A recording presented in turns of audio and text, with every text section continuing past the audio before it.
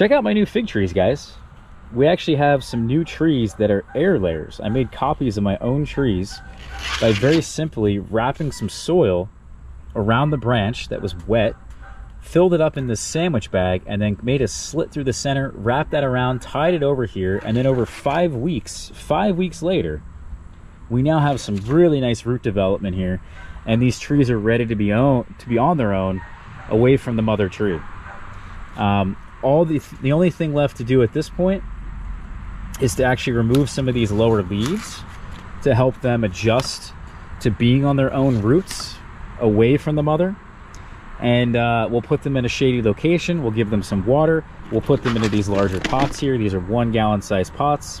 And then from this once they root out over the next couple weeks we can do anything we want. We can plant them in the ground plant them in a container or ship them across the country. It's really that simple. So thank you guys. All right everybody this is ross the fig boss. I have a very exciting video for you guys today because we are taking some of the air layers that we put on.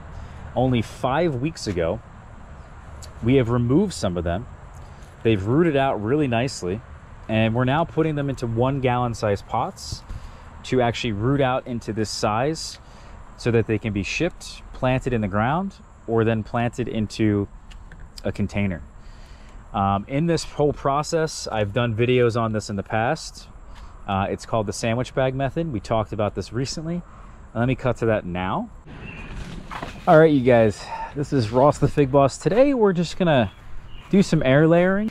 Um, essentially, what we're doing is the sandwich bag method. Hopefully, you guys saw that particular video where we cut open the uh, sandwich bag, we fill it with soil, we ziplock the top, cut it open, and then very simply I'll just show you how this works. Take off some of the leaves here. Slip this over the branch. Get that in there nice and snug. Squeeze it around the uh, branch to get the air layer in position. And then I'm going to take something here to tie it around the air layer so that it doesn't go anywhere. We need to make sure that this air layer stays in place throughout the next two months, which is the duration of the rooting process here. So if this thing moves around and, and it forms roots and then it moves around, well then the roots are gonna break off and you're gonna have just a terrible air layer. So you're gonna have a terrible time. I mean, probably at that point too, your life is just in shambles, but um, you know, that's why I'm here for you guys. So that was that whole process there, guys. Um, pretty simple. I hope you guys enjoyed some of that, uh, some of that little talk that we had, um, in addition to the actual method itself.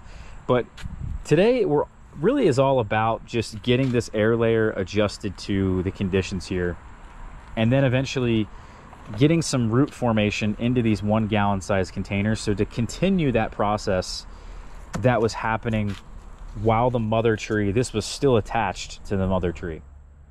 The problem now is that these trees are going to go through a period of shock um, because now they're severed from the mother tree.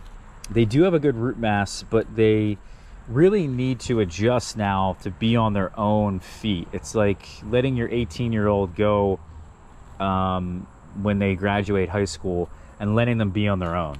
Uh, it's kind of like that. There's an adjustment period that needs to happen. So some of the things that we're we're doing here is eventually we're going to put them in the shade and we're even going to remove some of these leaves. The first step though is to get this bag off. So with the sandwich bag method, assuming you're using this, it's very simple. I just came over here, snipped off the um, the tree tube that I like to use. It's called TE binding tube from AM Leo. And then all we do is make a cut right here that goes all the way through the center. And then now this comes off rather easily. I am going to remove this leaf because this is just going to be buried in soil anyway. And then we very carefully try to take off this plastic because it's it's really crucial just to not have any transplant shock at this point. So we're, as I said, they're already going through a shock period they're already not liking what is happening to them. Um, so if we are going to make this in any way worse, it's not a good idea. Um, one of the tips that I could recommend for when to remove these things is based on how many roots you see, but also when you see the browning here of the roots. This means the roots are hardening off. If they were all white and um, not really a yellowish or brownish color yet, that means they're a bit delicate and they're not hardened off. And it may be in your best interest to wait until you see that browning or that hardening process happening. Once you see that hardening process, you know that the tree is going to be able to stand on its own uh, without the mother, without being connected to the mother tree. So again, there's just me removing that or making the cuts I need and then being very careful about removing this. Um, I find as well, uh, if the soil is dry, this is a bit easier. So one of the other determinations I make about when I should remove these air layers is actually if the soil is on the drier side. Uh, typically two or three, maybe even four months, depending on how long these air layers are on, they'll have a drier soil. Uh, but once we get this out of here, we're just simply going to fill up a container here. This is a one gallon size pot. You could go obviously a little bit larger, but I think it's just better, um, easier to maintain with a one gallon. I like these tree pots uh, because it fits the sandwich bag perfectly. And then all we have to do is just fill this in with soil around it. Um, it's really critical that once we put this in here, we keep shaking the pot and getting the soil around the roots really well. We want great contact and we even want to push the soil a bit down. I am going to remove the lower leaves just so that they're out of the way. Um, we need to remove some of these leaves anyway but around the edges here it'll make it easier to push the soil down into the pot so that there's good contact pretty much all the way around this this uh, this air layer that existed. And with that good contact again tamping this down this will give our tree the the best success getting the most moisture actually as well. And then now we're done with that I'm going to put the tag in here. This is an Rucciola Elba air layer. You could also stake it at this point. I'm just going to let them be. And then what I'm going to do actually is come over here to a section of the yard that gets almost no light. Um, this is in total shade. There's a little bit in the afternoon that hits these trees, but it's all mostly indirect and you can see I have some cuttings and different things rooting over here some of which uh, has died but you know it is what it is. And then we're just going to place that in this bin.